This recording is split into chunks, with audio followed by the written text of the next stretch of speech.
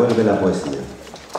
Rogamos que, que suban a recitar a Alex Ruiz, Federico Serradilla,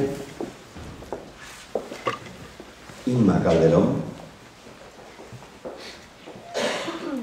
Juan Orozco, Vera Janet y Juan Martínez, Abuelo Juan y Lola Almeida.